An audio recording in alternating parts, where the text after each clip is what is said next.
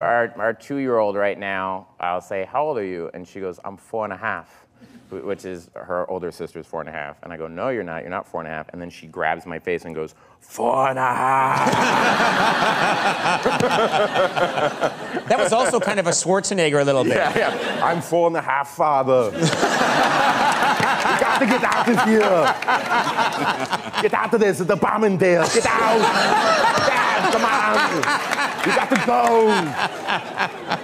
I need to pull up on now. We're going to watch Peppa Pig. Come on. I love Schwarzenegger as a baby. Yeah. This is so much fun. I want to watch Doc McStuffins.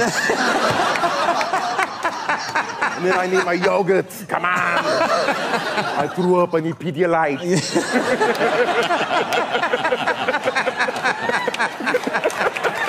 That's great.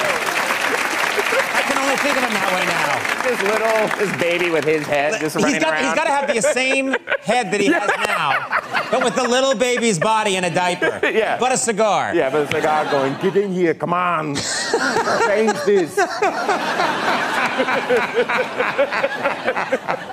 we got to go. We got to go. Got to go. State of California. California. California. What kind of kid?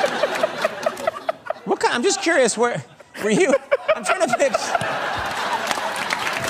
Yeah, you can't. No, I can't stop. Sorry.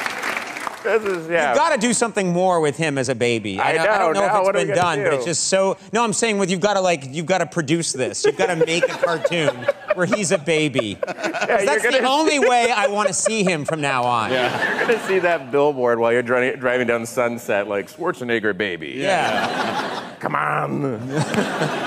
I would watch every second of that 50 times. I was a PA on, a, on an Arnold Schwarzenegger movie called Collateral Damage, and um, I, hey, what, all right. Uh, yeah, one person's like, ah, oh, hey, hmm. uh, no, and that was the big line in that movie was, "Open up the door, there's a bomb in there." The first time I met him, the first time I met him, I go, uh, he comes up to me and he, he had his cigar in his, in his mouth and he goes, uh, "What is Jeff and Peter?" That's his hair and makeup guys. Yeah. And I go, uh, I, I, don't, I don't know, I'll find them. And he goes, Find them. Show me your leadership capabilities.